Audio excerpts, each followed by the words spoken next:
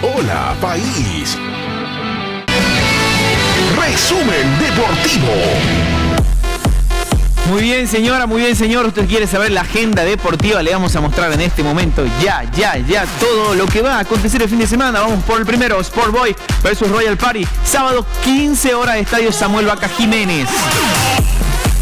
Ahí están, Sport Boy versus Royal Party. Vamos con el siguiente, San José versus Real Potosí, sábado 17-15, Estadio Jesús Bermúdez. Guavirá versus Destroyers. Sábado 19.30, estadio Gilberto Parada. Me encanta, me encanta el escudo de Destroyer. Estos dos equipos están obligados a ganar. Muy bien, ahora Aurora versus Bolívar. Domingo 15 horas, estadio Félix Capriles. Aurora versus Bolívar. Partido difícil para los cochabambinos. Vamos con el Tigre versus el Aviador. Destroyers versus Wilstermann. Clásico nacional. ¿Será clásico nacional? Sí, es un clásico nacional. Domingo 15 horas, Estadio Hernando Siles. Los dos vienen bien. Muy bien, Nacional Potosí versus Oriente Petrolero. Difícil Potosí, difícil jugar en Potosí para Oriente Petrolero. Domingo 17-15, Estadio Víctor Agustín Ugarte. Ya lo sabés. Vamos con el siguiente. La Academia versus Albus Ready. Blooming, el Pentacampound. Domingo 19.30, Estadio Ramón Tahuicha Aguilera. Vamos, Blooming. Muy bien. Eh, no es que yo sea hincha de Blooming, pero bueno, me gusta, me gusta.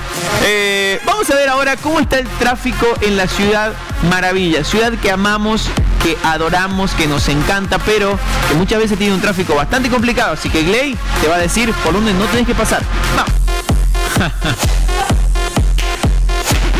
¿Sabes qué, pollo? Viñolo, ¿quién te conoce? ¿Quién te conoce, pollo? Te voy a mostrar acá todo el resumen deportivo. Vamos a arrancar con una excelente noticia porque el vicepresidente del Automóvil Club Boliviano brindó detalles acerca del aporte que se dará del Rally Codasur 2019, donde van a participar 50 competidores nacionales en ayuda a la chiquitanía. Es un tremendo notición, ya lo saben. Ahí está, vamos a verlo, miren.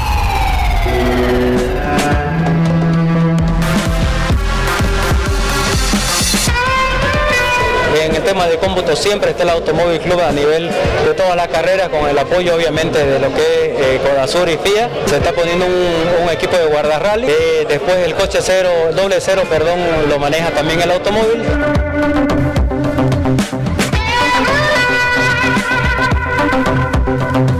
Y bueno, ya mañana empieza netamente lo que son las dos primeras pruebas en la noche y ya los fuertes el sábado y domingo.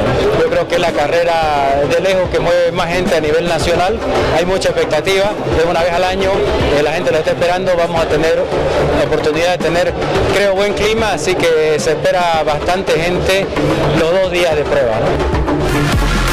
Y una mala noticia, bueno, para mí es una mala noticia, pero seguramente una muy buena noticia para los hinchas de River. ¿Por qué? Porque se juega la Libertadores y River le ganó 2 a 0 a Cerro Porteño. Por la ida de los cuartos de final de la Copa Libertadores 2019, el colombiano Rafael Santos Borré aumentó la ventaja de los locales a través de un penal. Muy polémico el penal. Hubo bar. Igual se lo cobraron. No le importó nada. Nacho Fernández a los 8 minutos y Santos Borré a los 65. Muy bien. Ahí está. River siempre. Parece que el segundo penal fue indiscutible.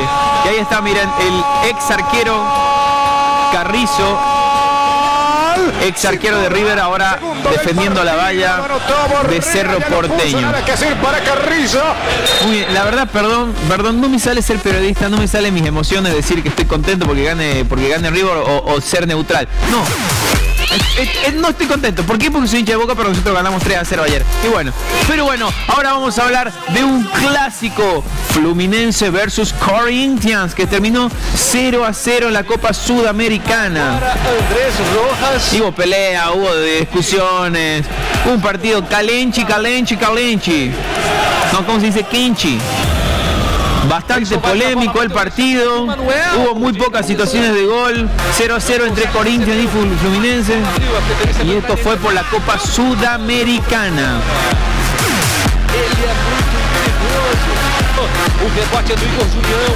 Miren eso.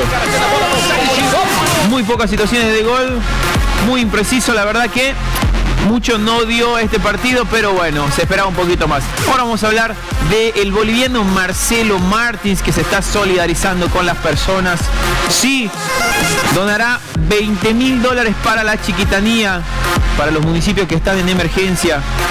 Marcelo Martins se solidariza con las personas que sufren a causa de los incendios en la chiquitanía. Por esta razón, el jugador donará 20 mil dólares para la compra de alimentos, agua, remedios, elementos necesarios para apoyar a los damnificados y a las personas que están ayudando a sofocar las llamas.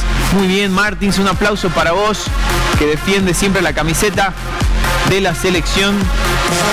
Jugador boliviano más caro de la historia. Un capo. Muy bien, ahora con qué seguimos? Vamos a hablar con del presidente de Baiza, Marcelo Clauren, que también confirmó su ayuda para la chiquitanía que está siendo afectada por los incendios forestales. Manifestó mediante su cuenta de Twitter que donará toda recaudación del clásico paseño entre Bolívar y Destroyer que se jugará en la décima fecha. Claure espera recaudar 250 mil dólares y espero que así sea y que toda la gente de La Paz esté prendida a este clásico porque todo va a ir recaudado para las personas damnificadas y para todo lo que está sucediendo hoy en la chiquitanía.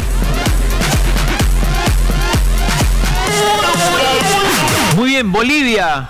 Usted está esperando un partido Bolivia, quiere saber cómo va a ir, qué va a pasar ahora que estamos sin técnico, que no estamos con el técnico y se confirmó un amistoso con Ecuador en septiembre. La Federación Boliviana confirmó un partido amistoso para la selección ante Ecuador el 10 de septiembre en Cuenca. Para ese partido se dará a las 18 horas bolivianas y se espera que se lo dirija el nuevo técnico de la selección apuntando a la próxima eliminatoria y la Copa América. ¿Por qué? Porque la verdad que se decía que ninguna selección tenía que jugar con Bolivia, que Bolivia estaba bastante, bastante en decadencia y que no era competitivo, pero ¿saben qué? ¿Saben qué? Ahí está, Ecuador dio el pase y creo que esa es la manera de que se pueda empezar a dar mucha, mucha más competencia y poder ir creciendo. Muy bien, este fue el resumen deportivo. Nosotros nos vamos ahora con la hermosísima Yubinka. Resumen deportivo. Hola, país.